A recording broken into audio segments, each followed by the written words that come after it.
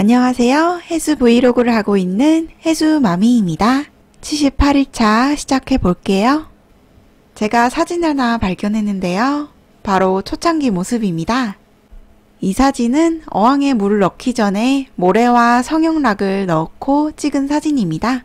이때가 10월 말이었습니다. 그 다음 사진은 시간이 흘러서 돌만 5개월 동안 키우다가 첫 생모를 들인 사진이에요. 이때가 3월 중순이었습니다. 그렇게 저는 해수를 입문하게 되었고 지금 이렇게 바뀌었답니다.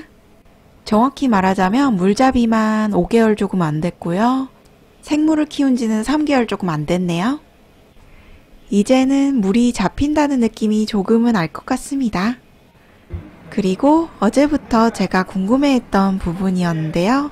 산호의 촉수가 하나씩 나와 있는 걸 볼 수가 있었는데요. 쉬운 해수 정보 채널 제로스님께서 산호도 영역을 넓히기 위해서 이렇게 활동을 한다고 합니다. 제로스님 덕분에 또 알게 되었네요. 고맙습니다. 여기도 이렇게 영역을 넓히기 위해서 활동 중인 모습입니다. 저렇게 공격할 수 있는 촉수가 따로 있나 봅니다. 생긴 것도 좀 다르게 생겼네요.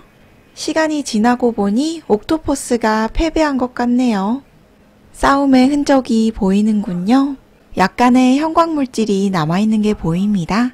상태가 어떤지 잘은 안 보이지만 공격을 당한 부분이 녹아 없어지기도 한답니다. 제가 가장 좋아하는 산호가 주변 산호들을 괴롭힐 줄은 몰랐네요. 목친 leather 모음집인데요. 나름 잘 적응하고 있는 것 같습니다.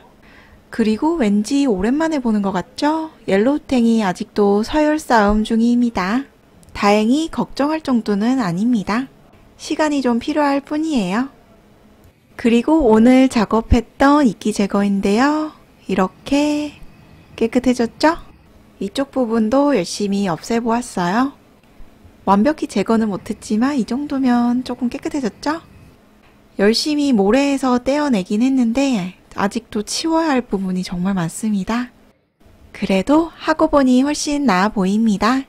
옆쪽도 이렇게 청소를 했고요. 뒤쪽은 이렇게 되었습니다. 나중에 저 잠수함도 한번 세척을 해줘야겠어요. 정말 물 생활은 이끼와의 싸움입니다. 이끼를 이기기 위해 이렇게 불도 빨리 꺼줬어요. 참 누리끼리 하죠? 조명빨이 정말 중요하답니다. 불이 막 꺼진 상태라서 아직 활짝 펴져 있네요. 그리고 제가 어제 말씀드리려고 했던 부분은 벌브가 하나가 있는 게 있고 여러 개가 있는 게 있습니다. 저렇게 뼈대들이 여러 갈래로 나눠져 있는데요. 이 아이는 여섯 벌브로 그래서 입이 여섯 개라고 했던 거고요. 이런 애들은 한 개이기 때문에 입이 하나입니다.